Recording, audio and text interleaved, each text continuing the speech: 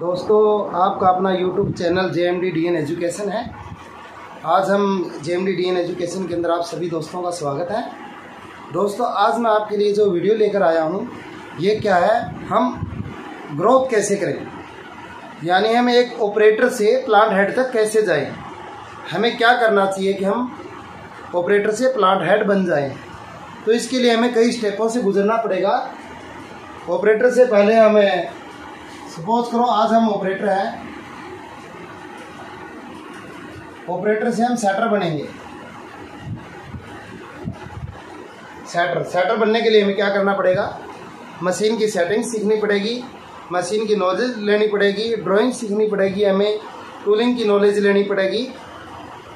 और इसके अलावा हमें हमारी जो सेटर के अधीन एक टीम होती है, उस टीम से हमें काम कैसे करवाना है, ये सीखना पड़ेगा। ये सीखने के बाद हम एक सेटर बन जाएँगे। सेटर के बाद हम सेटर से सेटर प्रोग्रामर बनते हैं।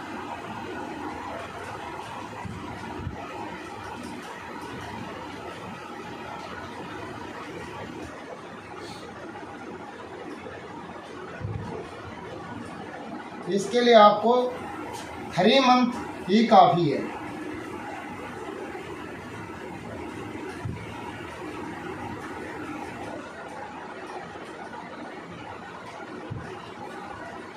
इसके लिए आपको थ्री मंथ काफ़ी है? अगर आप लगन कर रहे हो, अगर कोई आपको सिखाने वाला गुरु ढंग का है, और आपकी लगन क्या कहती है? आपकी लगन बढ़िया है तो आप तीन महीने के अंदर ही कामयाब हो जाओगे। दूसरा है सेटर प्रोग्रामर सेटर से सेटर प्रोग्रामर बनने के लिए हमें प्रोग्रामिंग सीखनी पड़ेगी प्रोग्रामिंग की नॉलेज लेनी पड़ेगी, और जब हम डेवलपमेंट करने लग जाएँगे तो हम एक प्रोग्रामर बन जाएँगे। फ़र्स्ट लेवल ये है आपका, सेकंड लेवल ये है, थर्ड लेवल ये। है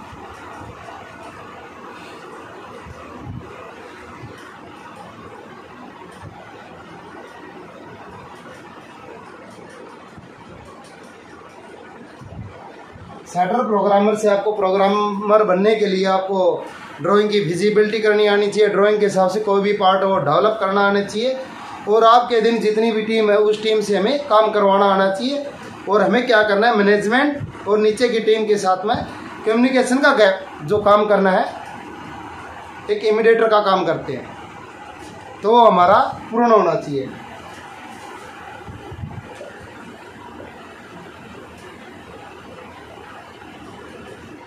प्रोग्रामर से हमें मैनेजर बनना है। मैनेजर बनने के लिए हर चीज़ को मैनेज करना आना चाहिए। हमारे दिन जितना प्लांट है, उसकी सारी मैनेजमेंट हमें करनी आनी चाहिए। वो सीखनी है। मैनेजर से हम।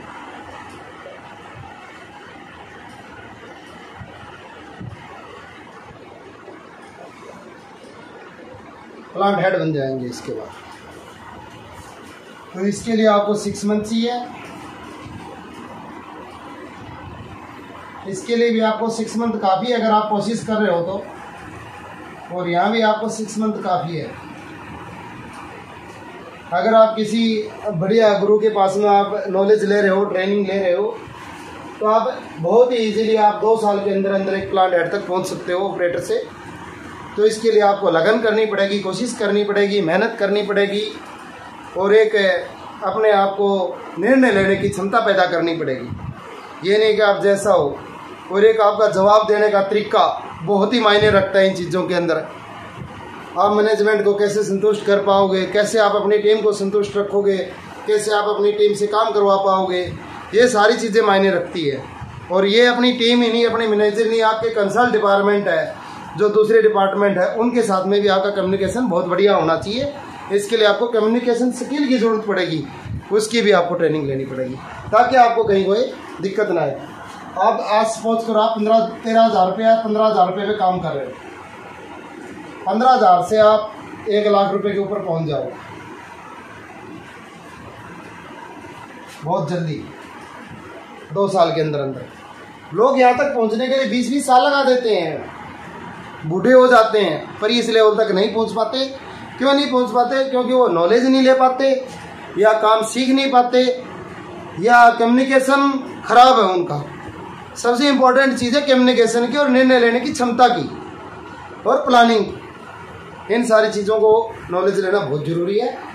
इन सब के बगैर आप अधूरे हैं। तो दोस्तों, बने रहिए मेरे यूट्यूब चैनल पे।